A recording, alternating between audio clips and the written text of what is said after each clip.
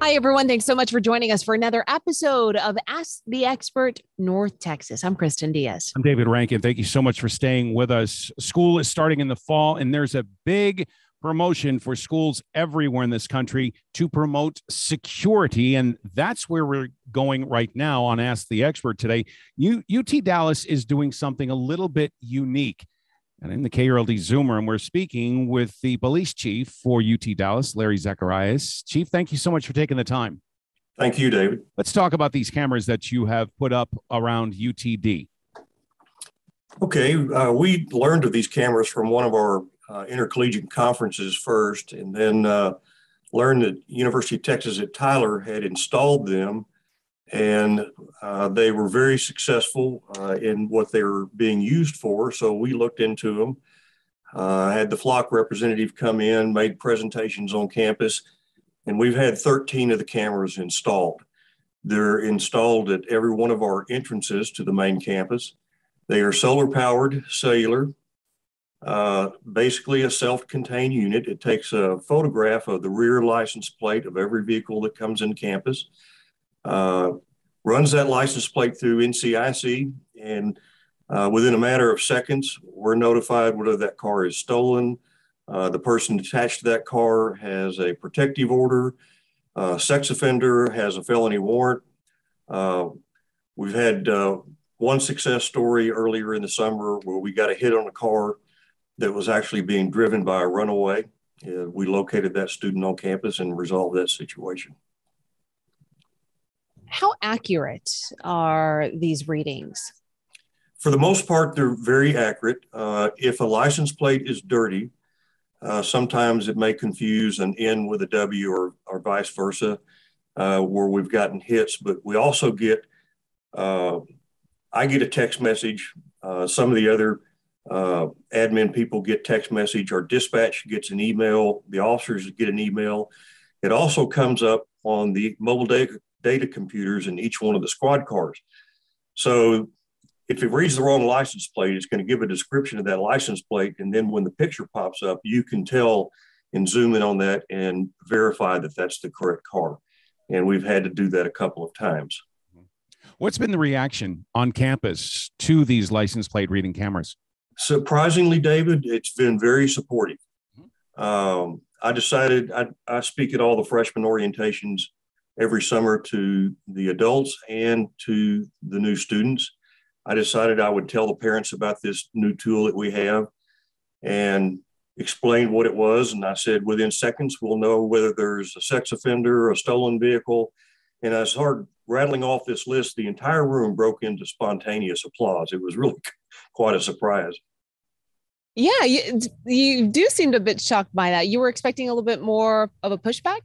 No, not really a pushback because these are freshmen. These are parents who are sending their students away from home for the very first time. So they do have extra safety concerns. That's why I like to talk to them. I remember when my daughter went to college, I went to orientation, and when the police chief spoke, it made me feel much more comfortable about the campus and the environment. And that's what I try to do with the parents. And I thought this was would be a good example to bring this tool out and let them know about it. And they were very pleased about it. City police departments all over North Texas are doing are trying to do more for community outreach. Does what you do help with that as well and to help your officers engage with the students? It, it does in more ways than you may know. Er, we have the ability to enter into an agreement with every police department, whether it's a municipal police department, sheriff's department, university police department into a legal agreement to exchange information. So, example, UT uh, Southwestern, UT Arlington is about to get these cameras. We can actually do a search on a vehicle and see however how, how many other places they have been captured on a flock camera. From that, it, it kind of develops a hotspot. We can tell where that car is located most of the time so that if that's a suspect vehicle, we we have ideas of where we can go to look for that vehicle. The other thing we can do is we can enter our own hot list. So we have someone on campus in our residential area at two o'clock in the morning. They're not affiliated with the university. They have no business here. We can issue them a criminal trespass then enter their license plate information and vehicle information in Flock, and we, we will be notified if they come back on campus. Legal. This has happened. If you read the press release, you notice we had uh, uh, it helped us with a stalking case where uh, suspect lied to the officer about the vehicle, vehicle he, he was in, but the victim said that's not his vehicle. We were able to actually do a search mm-hmm. on the vehicle type and color and found his vehicle on campus. So we were able to then recontact him and help resolve that situation as well. It, I, I can only imagine that you have to be kind of delicate when you do find, uh, you know, a, a suspected vehicle and it, it is popped up in your alerts, um, depending on what the camera might have brought up, like you said, a felony warrant or runaway or, or such. Um, are there any types of hurdles that could be presented in the future that you've had to train your police officers to uh, keep in mind when dealing with these cases? Well, it's no different than if they ran a license plate in their car and it came back stolen. Uh, they're trained on how to do felony traffic stops on stolen vehicles or, or felons that are wanted. So the approach and tactics would be the same because most of the time, by the time we find the car, it's still occupied. So they would they would take the same precautions and same procedures had they checked the license plate on a traffic stop and gotten the same type of return. This is just much faster and much more thorough.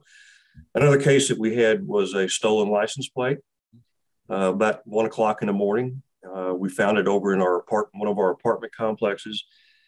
It was reported stolen. Uh, the person that owned the car was the driver, one of our students. He had reported his front license plate stolen to one of the mid cities police departments and forgot to take his rear license plate off and have it uh, check. So he, he was quite surprised when he was surrounded by, by police vehicles at one o'clock in the morning. What precipitated all this, putting up these cameras uh, this particular year? Uh, I th- there were several things. One was the information we got from UT Tyler and UT Tyler Health Science. And every time they would get it well, across the UT system, whenever we have a felony arrest, we typically report that to the director of police in Austin, director of UT System Police in Austin. He sends that out to the rest of the police chiefs. I started noticing these felony arrests, stolen vehicles, protective orders at UT Tyler Health Science Center. And I called, and every one of them was a result of the flock safety system. So I said, We've got to get this thing. If it's that useful and it's finding that many people, we'll have on a full class day up to 30,000 cars go in and out of this campus. So that's a lot of vehicles. When we had our commencement exercises last May, we that's when we got the most, the majority of our hits because there sure. were so many cars coming in during that week that aren't usually there during the school year. Absolutely. You know, how quick of a response can uh, the reading get out to your officers? Does it go to dispatch and then they reach out to the officers or do they get alert on their phone no, at work? Uh, I get a text alert and an email, or coordinator gets a text alert and email. Dispatch gets an email, and then it, it alerts almost instantaneous, instantaneously on the computer screens in the squad car. So it's very rapid. It's very quick. I have to imagine there are going to be some privacy advocates that are saying what are you doing? This is an invasion of privacy. Does this violate the Constitution? Kind of a thing. How do you respond to people that might be talking about that stuff? Well, we, we all are also concerned about privacy. Um, I was the le- legislative director for the Texas Police Chief Association several years ago when I was the Richardson chief. And I was very involved in the legislation involving photographic red light enforcement. So I had to deal with all the privacy issues there. So I prepared for for this. This is they promote this as a non-bias tool because it's take it's an inanimate object taking a picture of another inanimate object. Doesn't take a picture of, of a person. It takes a picture of a license plate and then it checks that license plate for markers or tags that have been placed on it by another government entity in the in the way of a protective order, sex offender registration, stolen, whatever. So uh, it's in a public place. Uh, it's it's no different than when you go to DFW Airport. There's an ALPR camera that takes a picture of your license plate. We don't hear people screaming about it's an invasion of privacy every time you drive down DFW Parkway. Um, for what about repoing. Does this have any correlation with that as well? We we don't get involved in repos. Police departments do not get involved, other than the repo company may notify dispatch. I've got papers to repo this car, and sometimes they don't notify you that until after they've taken the car. So we're not involved in in repos. Chief Larry Zacharias from the University of Texas at Dallas Police Department. Thank you so much for taking the time to explain this. Been my pleasure. Thank you.